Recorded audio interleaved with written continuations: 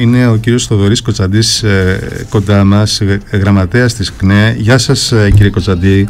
Καλημέρα κύριε Σιαφάκα. Τι κάνετε; Καλά. Αγωνιζόμαστε και χθες ήταν μια πολύ μεγάλη αντιπεριελιστική πορεία προς την Αμερικάνικη και την Ισραηλινή πρεσβεία, τιμώντας και τα 51 χρόνια από το ξεσηκωμό του πολυτεχνειου Ε, πριν πάμε στην μεγάλη απεργία στις 20 του μηνός, ε, ασχολείστε καθόλου με τη διαγραφή Σαμαρά ή όχι; Εμείς προτιμάμε να ασχολούμαστε με τα λαϊκά προβλήματα. Όπως σας προείπα, χθες ακούστηκε ένα μυριόστομο όχι στην εμπλοκή της Ελλάδας ε, σε δύο πολέμους. Την πολιτική που λελατεί το λαϊκό εισόδημα, που εμπορματοποιεί την παιδεία και την υγεία. Μια πολιτική που αν θέλετε βάζει και τον ελληνικό λαό σε μεγάλες περιπέτειες και κινδύνους. Αν πάρουμε υπόψη μας τα δημοσιεύματα που από ό,τι φαίνεται επιβεβαιώνονται ότι οι Ηνωμένες Πολιτείες, η Γαλλία, η Βρετανία επέτρεψαν τη χρήση πυράβλων μεγάλου βεληνικούς εναντίον της Ρωσίας στον πόλεμο με την ε, Ουκρανία. Τι σηματοδοτεί αυτό, το συζητήσαμε και νωρίτερα με τον κύριο Κερίδη. Εσείς πώς το σχολιάζετε αυτό; Ε, σηματοδοτεί ένα πολύ μεγάλο βήμα κλιμάκωσης της σύγκρουσης ανάμεσα στις Ηνωμένες Πολιτείες, το ΝΑΤΟ, την Ευρωπαϊκή Ένωση από τη μία μεριά και τη Ρωσία από την άλλη στο έδαφος της Ουκρανίας με τη χώρα μας να είναι βουτυγμένη μέχρι το λαιμό να μπλέκεται δε, σε αυτόν τον πόλεμο με τη βάση στην Αλεξανδρούπολη, με αποστολή πολεμικού εξοπλισμού. Είμαστε στόχος αυτό θέλετε να πείτε; Σε περίπτωση γενίκευσης του πολέμου είναι προφανές ότι οι νατοικές βάσεις στη χώρα μας το έχουν δηλώσει άλλωστε και οι Ρώσοι θα γίνουν στόχος ε, αντιπίνων. Αλλά και σήμερα αν θέλετε ο ελληνικός λαός πληρώνει στην τσέπη του τις συνέπειες ε, αυτού του πολέμου και της ε, μπλοκής. Σε κάθε περίπτωση δεν μπορεί να υπάρχει ψυχασμός όπως αυτός που καλλιεργεί η κυβέρνηση και πρέπει να δυναμώσει ο αγώνας για να σταματήσει κάθε εμπλοκή της χώρας μας στον πόλεμο για να μην υπάρχουν αποστολές των ενόπλων δυνάμεων εκτός συνόρων, μακριά δηλαδή από το σκοπό τους που είναι η άμυνα και μόνο της ε, χώρας, να σταματήσει κάθε στήριξη και στο αέτερο κράτος δολοφόνο, αυτό του, του Ισραήλ, που διεξάγει μια γενοκτονία ενάντια στον Παλαιστινιακό λαό, συνολικά να σταματήσει η εμπλοκή της χώρας μας σε αυτούς τους επικίνδυνους σχεδιασμούς. Και νομίζουμε ότι και η μεγάλη πορεία χθες του Πολυτεχνείου και η απεργία που είναι μπροστά μας στέλνουν και αυτό το μήνυμα. Δηλαδή το σύνθημα της απεργίας όπως γνωρίζετε καλά είναι λεφτά για μισθούς, υγεία και παιδεία έξω η Ελλάδα από το πολέμο Επειδή αναφερθήκατε σε ένα κράτος με έναν χαρακτηρισμό ε, δεν έχω ακούσει συχνά αναφορές για την σφαγή της 7ης Οκτωβρίου. Αυτή την ξεχάσαμε; Ίσα ίσα νομίζουμε ότι είναι ένα ακόμα ε, γεγονός μέσα σε μια 75χρονη που ε, ανεβάζει κιόλας. Τώρα έχουν ξεπεράσει τα 75 χρόνια της ε, βάρβαρης Ισραηλινής κατοχής με ένα καθεστώς απατχάιντ, αποκλεισμών, φυλακίσεων, εκτοπισμών, εκατομμυρίων προσφύγων και ακριβώς επειδή είμαστε πλέον στις 18 του Νοέμβρη... Ναι, όλα αυτά δικαιολογούν τη σφαγή της 7ης Οκτωβρίου. Αυτό σας ρωτώ κύριε Κοτσαντή. Αυτό, αυτό όχι ίσα ίσα λέω ότι δεν μπορούν πλέον οι μακελάριδες να κρύβονται πίσω από αυτό το γεγονός ή πίσω από τη Χαμάς και εκεί να αναζητούν το άλοθη για μια συνεχιζόμενη γενοκτονία.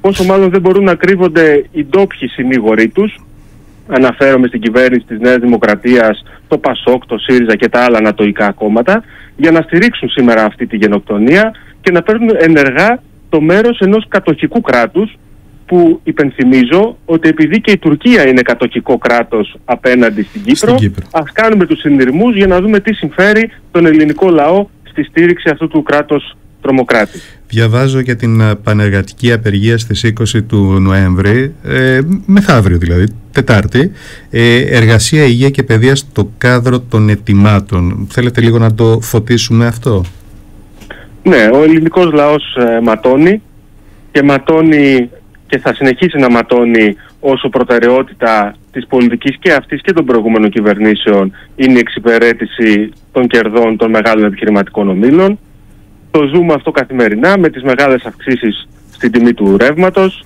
με την εργασιακή καλέρα, μια ζούγκλα πραγματική που επικρατεί μέσα στους χώρους δουλειάς, με χαμηλούς μισθούς, με δεντικοποίηση της εργασίας, με ωράρια λάστιχο, ειδικά για τους νέους εργαζόμενους, που ένας στους δύο δουλεύουν και με μερικές ε, εργασιακές, με μερική σχέση απασχόλησης, με μερική απασχόληση.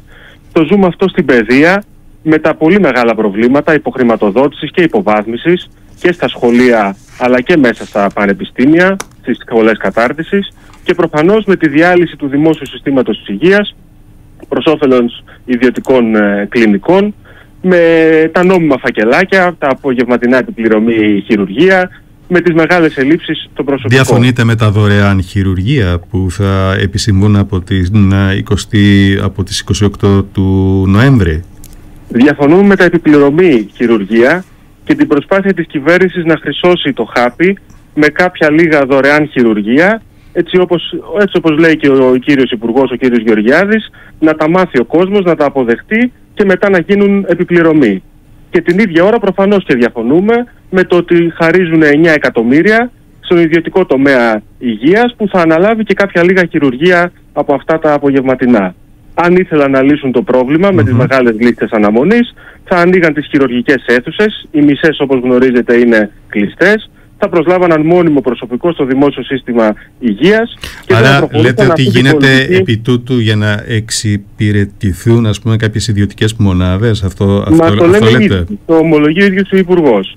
Και πέρα από αυτό νομίζουμε και επαναλαμβάνω ότι σήμερα αυτή η συνύπαρξη λεγόμενη του δημόσιου και ιδιωτικού τομέα αποδείχθηκε και στην πανδημία με τραγικούς όρους αλλά και σήμερα οδηγεί τελικά σε όλο και μεγαλύτερη υποβάθμιση των δημόσιων νοσοκομείων, στη διάλυση της πρωτοβάθμιας φροντίδας υγείας.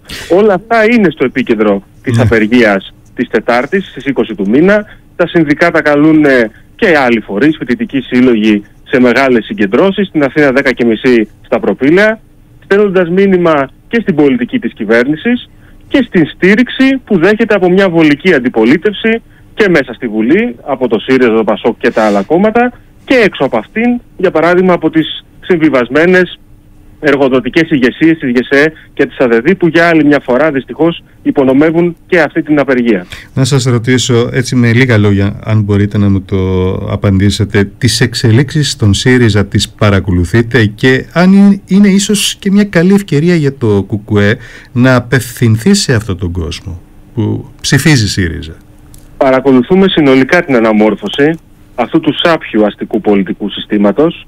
Με ρωτήσατε πριν και τη διαγραφή Σαμαρά που είναι ενδεικτική αν θέλετε και των αντιθέσεων που υπάρχουν και μέσα στη Νέα Δημοκρατία και συνέπεια της δυσαρέσκειας της ογκούμενης απέναντι στην ασκούμενη αντιλαϊκή πολιτική αλλά και των διεθνών εξελίξεων, των μπαζαριών που υπάρχουν στα ελληνοτουρκικά. Αντίστοιχα στο ΣΥΡΙΖΑ παρακολουθούμε σε ζωντανή σύνδεση δεν θα έλεγα καν τον εκφυλισμό, θα έλεγα τον εξευτελισμό ε, του κόμματος της αξιωματικής μέχρι πρότινος αντιπολίτευσης που πληρώνει την ταύτισή του με τη Νέα Δημοκρατία σε όλα τα μεγάλα ζητήματα. Από την Ιερή Συμμαχία του ΝΑΤΟ και τη στήριξη στο Ισραήλ μέχρι ε, το χρηματιστήριο ενέργειας, σταματωμένα πλεονάσματα, το 50% των νομοσχεδίων της κυβέρνησης που έχει μέχρι τώρα ψηφίσει.